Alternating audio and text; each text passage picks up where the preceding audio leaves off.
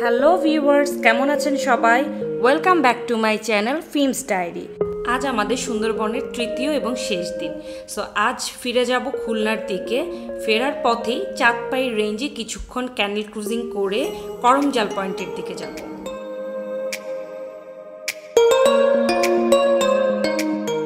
বিলুপ্তপ্রায় ডলফিনগুলোর মধ্যে ইরাবতী ডলফিন হচ্ছে অন্যতম, আর এই নদী হচ্ছে ইরাবতী ডলফিনের ব্রিডিং গ্রাউন্ড।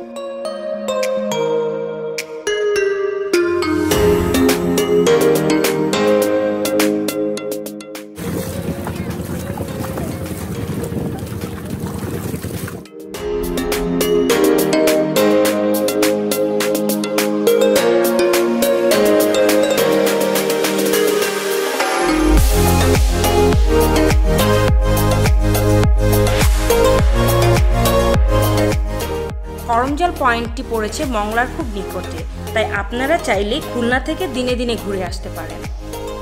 এই পয়েন্টটিতে যাওয়ার জন্য বন বিভাগের কোনো পারমিশনের প্রয়োজন পড়ে না। আপনারা অন স্পটেই টিকিট কেটে প্রবেশ করতে পারবেন। সো চলুন দেখে আসি কি আছে করমজালে। করমজালে আছে বনের মধ্যে দিয়ে যাওয়া কাঠের ট্রেন এবং আরও আছে কুমির হরিণ কচ্ছপের ব্রিডিং সেন্টার। তাছাড়াও রয়েছে wild animal rescue centre Karamjal wildlife breeding সেন্টারটি চালু হয় দুই হাজার দুই সালে। এই সেন্টারটির মেইন ফোকাস ছিল বিলুপ্ত প্রায় সল্ট ওয়াটার ক্রোকোডাইল ব্রিডিং এবং সংরক্ষণের জন্য। বর্তমানে এই রেস্কিউ সেন্টারটিতে রয়েছে ছোট বড় মিলিয়ে প্রায় দুইশোর মতো কুমির। স্থানটিতে কিছু রেস্কিউড হরিণও রয়েছে, যেগুলোকে পরবর্তীতে বনে ছেড়ে দেওয়া হবে। আমার দেখা সুন্দরবনের অন্যান্য কাঠের ট্রেলের চেয়ে এই ট্রেলটি সবচেয়ে সুন্দর।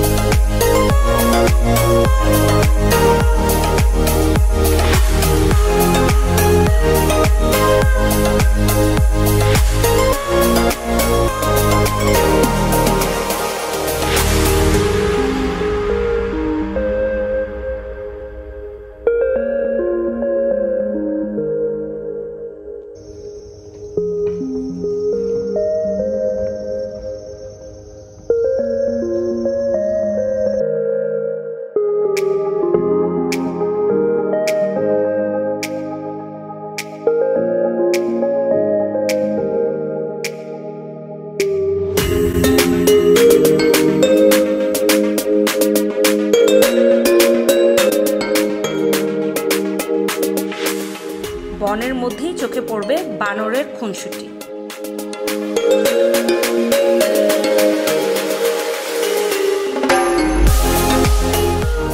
কিছু দূর যেতেই আমাদের চোখে পড়ল বনের মধ্যে থাকা একটি হরিণ। মজার বিষয় হচ্ছে, হরিণটি খুবই ফ্রেন্ডলি ছিল। খুব সম্ভবত এই হরিণটিকে ওয়াইল্ড লাইফ রেস্কিউ সেন্টার থেকে রিলিজ করা হয়েছে। যে কারণে এই হরিণটি মানুষের সন্নিকটে আসতে খুব একটা ভয় পায় না।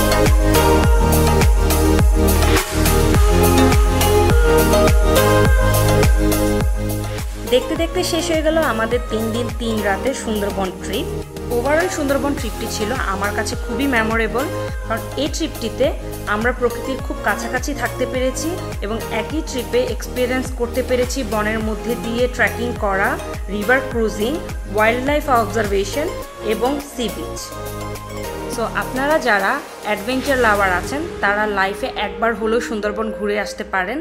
তবে আমার একটা অনুরোধ থাকবে, আপনারা যেখানেই যাবেন রেসপন্সিবলি ঘুরবেন, যাতে প্রকৃতি এবং পরিবেশের কোনো ক্ষতি না হয়।